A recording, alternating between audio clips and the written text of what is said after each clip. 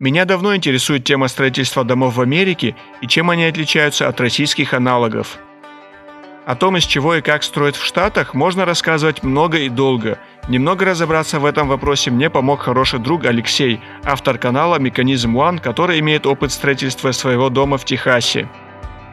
Он же помог мне с видео и текстом для этого репортажа, который является продолжением его ролика про строительство домов в Америке и в частности в Техасе. Поэтому рекомендую посмотреть его ролик по ссылке в описании, прежде чем начинать просмотр этого видео. В первой части репортажа, которая вышла на его канале, он рассказывает о подготовке к строительству и заливке фундамента. А в этом ролике я расскажу про сборку каркаса дома, проведение коммуникаций, черновую и чистовую отделку. Каркас. После того, как готов фундамент, на залитой стяжке наносят разметку стен и начинается сборка деревянного каркаса дома. Все несущие конструкции дома собраны из дерева. Вообще каркас дома – это тема для отдельного видео, потому что каркасы из сами знаете чего и палок вызывают много недоверия и споров, так что останавливаться на этом подробно я пока не буду. Затем доски снаружи обшиваются стружечной плитой –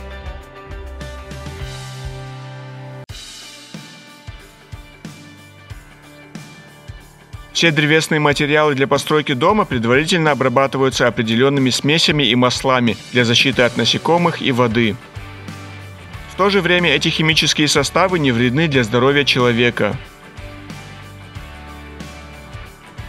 Все материалы крепят гвоздями и металлическими анкерами. Также используются болтовые стяжки в основном в критических местах, которые по каким-либо причинам будут нести повышенную нагрузку. Брус при строительстве не используется, его заменяют несколькими досками, сколоченными вместе.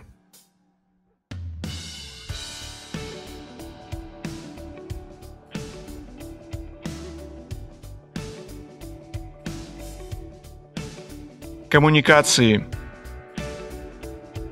После того, как каркас дома закончен, внутри начинают проводить коммуникации. Все коммуникации тянутся внутри стен – проводится электрика, линии воды и газа, телекоммуникационные линии. Устанавливаются электрические панели, счетчики, распределители воды, а также все розетки. Затем устанавливается камин, ванны, бойлер для нагрева горячей воды, кондиционер. На чердаке устанавливается вентиляционная система для отопления и охлаждения дома. На самом деле это оптоволоконная мягкая труба. Сверху она имеет оболочку из негорючего стекловолокна, под которым спрятана стекловата, внутри которой находится мягкая алюминиевая труба. Сегодня такие вентиляционные трубы используются везде, где скорость потока воздуха относительно невысокая. Затем внутренние стены обшивают гипсокартоном с одной стороны. С другой стороны в проемы вставляется минеральная вата, после чего стена также зашивается гипсокартоном.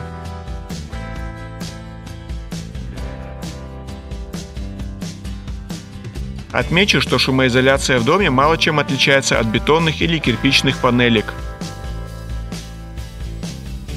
Черновая отделка. Затем начинается черновая отделка помещений. Тут ничего особенного. Шпаклевка стен, покраска, создание узора на стенах. Затем вставляются окна. Внешняя часть дома обшивается дополнительными шумоизоляционными и утепляющими полистироловыми панелями со значениями R равными 3. Толщина этих панелей 13 мм. Сверху панели будут зашиты слоем толстого пластика и рубероида. Окна, используемые в строительстве, так называемые южные, и могут использоваться лишь в Техасе, Луизиане, Флориде, южной части Калифорнии, Аризоны и Новой Мексики. Непосвященных в вопросы строительства данные стеклопакеты и панели вызывают вопросы. Тем не менее, стоит помнить, что удержать холод внутри дома в дикую жару так же трудно, как и тепло в дикий холод.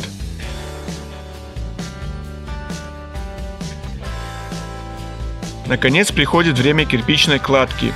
Кирпич декоративный стандарта ASTM SW. Помимо кирпича также используется камень. Между стеной и кладкой оставляется 5-6 сантиметровый зазор для циркуляции воздуха. Соответственно, под козырьком оставляется отдушина. Качество кладки кирпича очень хорошее. Стать каменщиком не так просто. Эта профессия считается одной из престижных у мексиканцев. На фасаде и боковых стенах полностью отсутствует молдинг. Его можно использовать лишь на торцевой стороне дома, если есть желание немного сэкономить на цене дома. Хотя вообще принципиальной разницы не будет. Параллельно идет укладка гибкой рубероидной черепицы на крышу.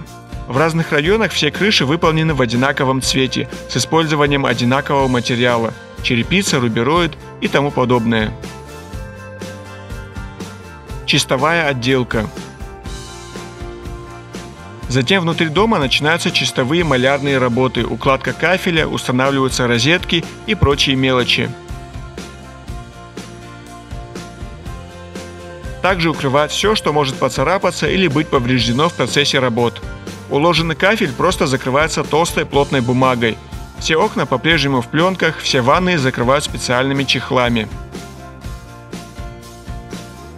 Затем вставляются двери, которые также временно находятся в чехлах, либо в черновой покраске. Ну вот и все, дом почти готов.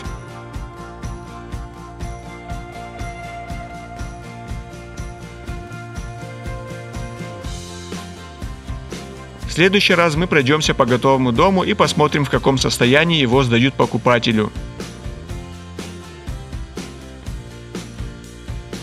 Друзья, не забудьте перейти по ссылке в описании и посмотреть первую часть на канале Механизм One, если не успели этого сделать.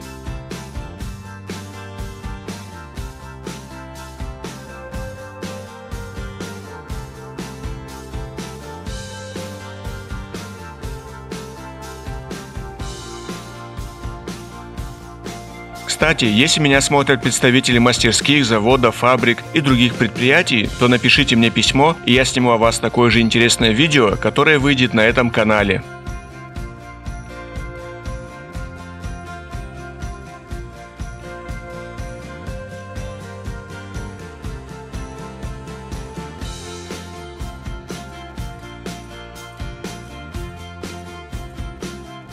Спасибо всем за просмотр.